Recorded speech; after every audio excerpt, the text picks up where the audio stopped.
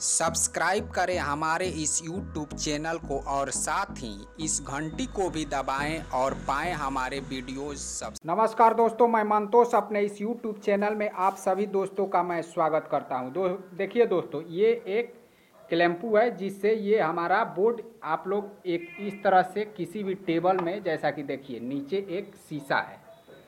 शीशा जो हमें, मान लीजिए कि खींचने में आसान रहता है, नीचे जो है सख्त चीज़ चाहिए, इसलिए हमने इस पर शीशा रखा है। यहाँ पे आपको एक ये देखिए, पटरी जैसा, इसमें कब्जा, एक कसा, दो कसा गया है ताकि ये अप डाउन करता रहे। अब देखिए हम इसको किस तरह से इसको फिटिंग कर रहे हैं। तो देखिए ये जो है हमारा मेटर है, हमारा बोर्ड हो गया। अब इसको हम इस पे कस देंगे। देखिए, जहाँ से हमारा मेटर सही से आ जाए, उसके, उसी तरह से हम कस देंगे, क्योंकि कई जो हमारे सब्सक्राइबर है, वो ये भी पूछते हैं कि क्लैम्पू किस तरह से कसा जाएगा। इस बारे में भी आप बताएँ। अब देखिए, इसको यहाँ पे रख दिया गया है। जो हमारा मेटर है, वो पूरी तरह से लंबा आना चाहिए। ऐसा नहीं कि चौड़ा आना चाहिए। इधर दूसरा मेटर है, इधर दूसरा मेटर है। और देखिए, ये अब अप डाउन जो है हमारा करने लगेगा। इस तरह से हम इसे रखेंगे। अब हम चलिए देखते हैं कि इसका साइज़ किस तरह से लिया जाएगा कार्ड का। ये जो क्लैम्पू है हमारा फिट कर दिया गया है। अब हम इसका साइज़ लेते हैं कार्ड का।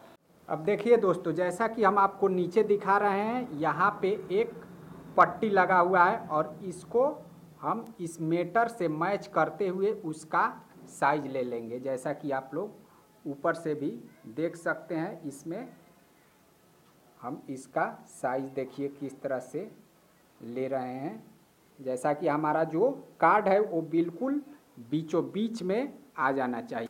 अंदर में अगर ये यहाँ पे आ रहा है, हमारे उंगली को आप लोग देखिएगा तो यहाँ पे आप लोग कुछ टेप वगैरह लगा दीजिएगा, ताकि मान लीजिए कि हमारा निशान जो है, वो बिल्कुल स्पष्ट ढंग से वहीं से हम लोग कार्ड रखेंगे। जैसा कि देखिए, यहाँ पे एक बारीक टेप लगाया जा रहा है। देखिए, और इधर से जो है, ये यहाँ पे एक पट्टी लगा हुआ है इसके इधर में, और यहाँ से अब हम इस पे ये हमारा जो साइज़ है, वो बिल्कुल परफेक्ट हो चुका है। देखिए, ये हमारा जो साइज़ है वो बिल्कुल परफेक्ट आ चुका है। यहाँ से हम कार्ड रखेंगे और उसके बाद से हम अब प्रिंट इसका। तो देखिए दोस्तों, जैसा कि इस पे हमारे मेटर पे कलर डाला जा चुका है, अब आप लोग देखिए, जब भी आप स्टेपर चलाएँगे उससे पहले सही ढंग से भिगो लेंगे। देखिए, ये जहाँ पे, अब देखिए ये हमारा जो कार्ड है, वो किस तरह से आया हुआ है। हम आप लोगों को ये दिखा देते हैं। देखिए ये हमारा जो और देखिए, यहाँ पे जो ये लकीर आ रहा है तो ये इसमें आप स्टेपर पे ध्यान रखिएगा कि जहाँ पे लकीर आ रहा है, वहाँ पे हमें मान लीजिए कि जो हमारा लेटर है, वहाँ पे प्रॉब्लम आ जाता होगा। तो आप लोगों को हम दिखा रहे हैं। देखिए, इसमें कई जगह जहाँ पे प्रभा लिखा हुआ है या विदाई लिखा हुआ है तो ये हमारा जो है, वो स्टेपर की वजह से आ रहा है तो इसके लिए हम क्या करेंगे कि स्टेपर को चेंज करेंगे। देखिए, जैसा कि अब जहाँ पे लकीर आ रहा है, वहाँ पे हमारा कलर छूट जा रहा है तो इसके लिए अब हम दूसरा मान लीजिए कि स्टेपर। देखिए दोस्तों, ये लकीर आने की वजह से हमारा जो मेटर है, वो जो लेटर है, हमारा अक्षर जो है, वो सही नहीं आ रहा था, इसलिए अब हमें स्टेपर को चेंज करना पड़ रहा है। देखिए, अगर आप लोगों के साथ भी ऐसा मेटर पे अगर लकीर आए तो उसमें प्रॉब्लम आ सकता है। अब हम देखते हैं इसका मेटर। तो देखिए, ये जो हमारा मेटर है, अब बिल्कुल स्पष्ट आने लगा है। यहाँ पे प्रभा लिखा हुआ है, वो भी सही है।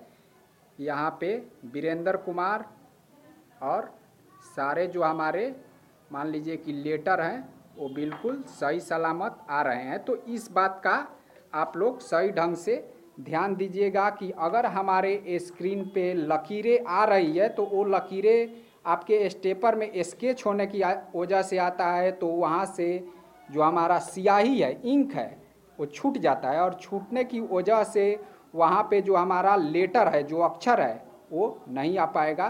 तो इस बात का आप लोग खास ध्यान रखिएगा कि मान लीजिए कि हमारा अगर स्टेपर पे लकीर आ रहा है तो उसे हमें चेंज कर देना है। देखिए यहाँ पे ये बिल्कुल स्पष्ट आ रहा है, प्रभा। देखिए दोस्तों, हम आप लोगों को एक बार और दिखा देते हैं। यहाँ पे जो आयुष्मान के नीचे है, यहाँ पे भी हमारा कलर कट रहा था, जो हमारा लकीरें आने की वजह से, जिसमें हमारे स्टेपर में स्क्रेच था, और यहाँ पे प्रभा जो आ रहा है यह भी कट रहा था। यहाँ इधर जो हमारा दर्शनाभिलाषी है इसमें भी और विदाई में देखिए यहाँ पे कुछ बूंदाबांदी भी आ रहा था। इसकी वजह से हमको स्टेपर चेंज करना पड़ा और यहाँ पे देखिए, यहाँ पे बिल्कुल आ नहीं रहा था। इसका मतलब ये था कि मान लीजिए कि जो लकीर है, उसके नीचे से मान लीजिए कि हमारा जो इंक है, वो छूट जा रहा था। अब हम एक और कार्ड, जो दूसरा स्टेपर है, जो नया स्टेपर हमने लिया है, उस पर देख लेते हैं। तो देखिए यहाँ पे वीरेंद्र की जगह जो स्वर्गीय मदन प्रसाद है बिल्कुल क्लियर है। यहाँ पे प्रभा भी बिल्कुल क्लियर है और विदाई भी क्लियर है। तो आप लोग इस बात का खास तौर से ध्यान रखिएगा कि स्टेपर के वजह से भी जो हमारा मान लीजिए कि मेटर है वो सही ढंग से नहीं आ पाएगा। स्टेपर जो है बिल्कुल क्लीन होना चाहिए। आप उसे प्रिंट करने के बाद बिल्कुल धोकर रख देंगे। नाइट्रो से, कपड़े से साफ़ करके नहीं तो वो बाद में क्या होता है कि खराब हो जाता है। तो चलिए दोस्तों, जैसा कि आप लोगों ने देखा कि हम इसमें क्लैम्पू वगैरह किस तरह से फिटिंग करते हैं, साइज़ किस तरह से लेते हैं और स्टेपर का भी बाई चांस इसमें हमारा प्रॉब्लम मिल गया, वो स्टेपर गलत लग गया था और आप लोगों को के लिए भी ये एक सीख मिल गया कि हम स्टेपर को भी सही ढंग से रखेंगे, सही ढंग से उसमें किसी तरह का स्क्रैच नहीं आएगा।